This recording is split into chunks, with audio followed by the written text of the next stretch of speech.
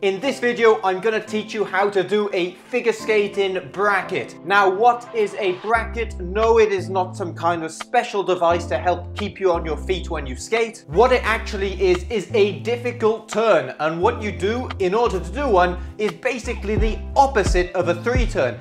In the three turn, you go around a circle and you would turn like this.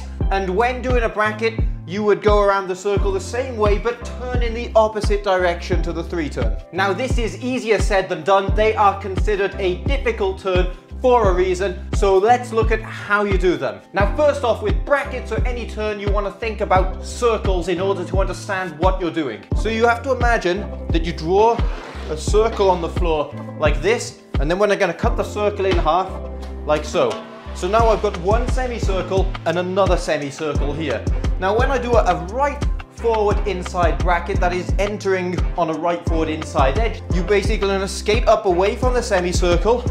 When you've done a quarter of a circle, you flip to backwards and you keep coming around until you finish the semicircle. We will be on our forward inside edge coming this way.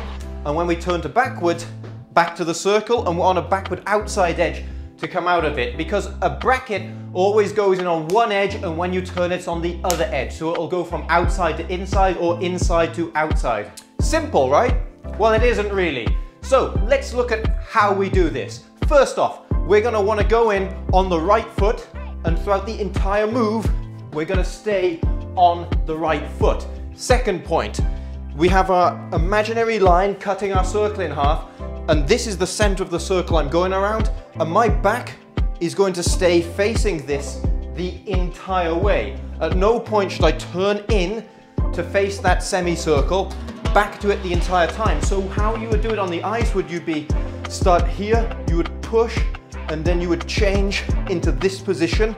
So I have my back firmly against this central point and then staying on one foot, I would turn and look the direction I'm going and I would come back around like so. Now when we think about this move, I'm starting here and I want to make sure that I go that way first and then on the circle. I don't want to cut the circle by starting that way. If I cut the circle, I'm going to struggle to bring it back around again without changing edge and doing a flat.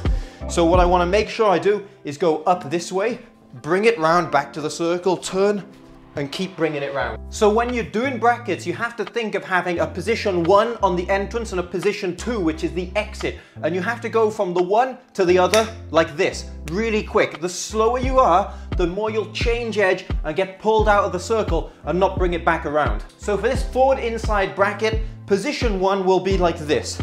I have my free leg extended in front like so, back to the center of the circle, my hips are angled like this. Not here, but here. So that means the free hip is leading into the circle and my arms are fully extended and I'm there. My weight will be towards the back of the skate and here. Now position two is this, like that. Free leg close to the skating leg, knee open as much as I can, not closed, open, hip open, balance like so. The leading shoulder pushing open as far as I can, the head look in the direction I'm going, and I'm there. Weight is now on the ball of the foot. Let's have a quick talk about how the weight changes during the turn. So what happens is you push and you skate in and going forwards, your weight is more on the back of the blade. Now, if you leave it there and try and turn, you will hit the deck, you'll fall, you'll probably hurt yourself and never want to do a bracket again. But what we do to avoid this is as we're going to turn, it rolls to the ball of the foot and then it allows me to swivel to backwards. Without that change, you will either fall or if you don't fall and you get lucky, you'll just catch your edge and step out of it like so. So the weight change on the rocker of the blade is really important with this one. So here we come to our first exercise to practice this, and that is literally standing in position one, like this, and then just quickly turn in position two.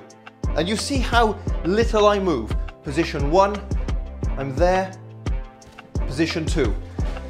So it's a very quick movement like this, and you have to really make sure that you're doing everything you can with this left side from position one to position two, everything you can to pull back here. If you don't do that and you don't pull it back, you will not be able to do the bracket on the ice because you'll get stuck there, you'll get pulled to an inside edge, and you will fall off the circle. Remember, we're going in a circle like this, so anything you do to pull yourself outside of the circle will ruin your chances of getting a bracket. So you have to really make sure, one, two, and everything is pulling around that corner. So going through this exercise again, position one, I'm feeling my weight pushing a little bit to the back of my shoe, hips aligned as I described before, I'm balanced, and then what I'm gonna do is rock the weight to the ball of the foot, change. Now brackets will be really hard if you don't have a lot of mobility in your spine like this. If you're too stiff and you move like that, you're gonna really struggle because you won't get that check position. So you need good movement here and you need great turnout. There's a video right there. You can watch that. It gives you all the exercises to get the turnout you need to do brackets and many other turns. And if you need help improving your ability to check and rotate like this, there's another video right there that will help you. It's specifically made for three turns, but improving that will also improve all your other turns. Now, another really important thing with brackets is the angle of your body. That can either help you do them or completely ruin your chances of doing them. So if you're going into the bracket and you're broken at your hips like this, so your entrance position, you're there.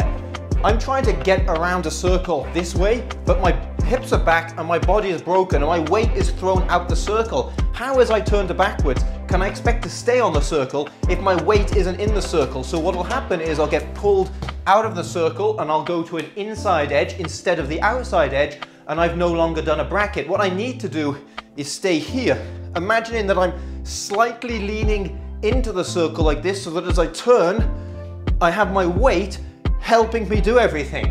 It's the same that if you're trying to do an outside edge or an inside edge on a circle, if you leave your weight out like this, it's really hard to get around, but if you put your weight over it like this, you'll whip around no problem whatsoever. So the same thing for this bracket. If I'm there, no chance I throw myself out of the circle. If I'm here, suddenly it's much easier. So let's look at a way we can practice this lean right from our home. Now here I've set up my amazing skating door harness to help me practice the lean that I'd have on my bracket. So as I elegantly climb into it, look, I have some great lean, I'm supported by it. So what I would do if I was doing a bracket was I would skate into it like so. I gotta put my arm down so I'm too close to the wall, I'm too tall, but I'm here and I can actually get a bit of lean on it as I would on the ice, and then I can turn and practice it while I'm supported by the harness. So try it again, position one, two. As an added bonus, if you have a spinner at your home, you can add a layer of difficulty to practicing this difficult turn by doing it on the spinner.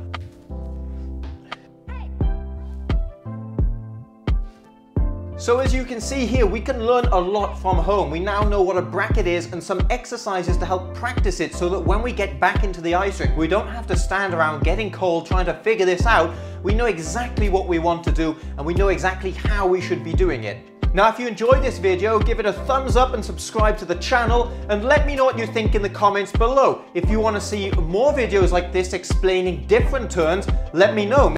And if you want more help with your skating, even more tutorial videos, check out our Patreon page. You can get the help you need to take your skating to the next level.